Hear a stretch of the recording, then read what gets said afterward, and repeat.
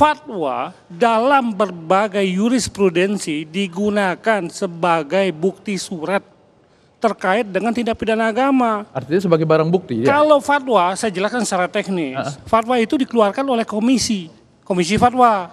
Tapi kalau pendapat dan sikap keagamaan ini lintas komisi dan ditandatangani oleh ketua umum dan Oke. sekjen, derajatnya lebih kuat. Ini kalau sumber hukum Islam ini sumber hukum ketiga, ijtihad. Pak, saya mau Ijma. tanya, Pak. Sebentar Pak, saya sedang Fatwa bicara. Bapak ini dia tadi nyelak-nyelak orang dulu. Lebih tinggi pemerintah atau Bukan Ini begitu. Kalau itu. Bapak Makanya, bicara begitu, kayaknya- kayaknya Bapak lebih besar bicara gitu teori fatwa. tentang keterkaitan hukum agama dengan hukum negara. Itu ada teorinya, teori pluralisme. Baik. Saya panjang kalau kasih kuliah di sini. Ya. Tapi yang saya katakan bahwa tadi penyalahgunaan tidak memerlukan adanya suatu tindakan pendahuluan. Konstruksi hukum pasal 156A ini tidak mengacu kepada double track system murni ya. Dalam pengertian semua perbuatan itu harus didahului dengan tindakan atau sanksi pidana.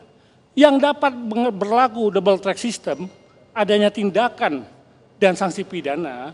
Dalam hal ini pidana itu berlaku di belakang bersifat primum remedium itu di penyalahgunaan.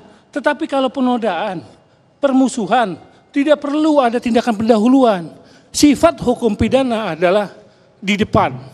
Primum remedium, bukan ultimum remedium. Oke. Kalau penyalahgunaan baru dia bersifat ultimum remedium. Silahkan baca pasal 1, pasal 2, pasal 3 Undang-Undang PNPS itu tidak ada menunjukkan tentang penodaan.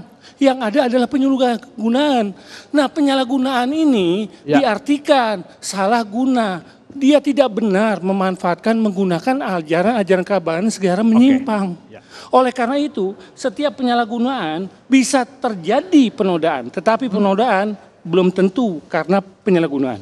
Dalam penyalahgunaan bisa terjadi dolus directus menyebabkan penodaan. Oke. Sehingga kita harus memahami konstruksi pasal 156A Boleh, itu. Huruf B itu dengan maksud. Huruf A tidak menyebut dengan maksud, berarti bisa dengan maksud, bisa sadar kepastian dolus directus, bisa sadar kemungkinan dolus eventualis. Baik. Sehingga antara penyalahgunaan yang dilakukan tidak serta-merta dia terkait dengan harus adanya suatu tindak pidana yang berhubungan dengan itu. Oke. Dalam pengertian penodaan dapat berdiri sendiri dari adanya penyalahgunaan. Tapi kalau penyalahgunaan bisa saja terjadi Ya. penodaan.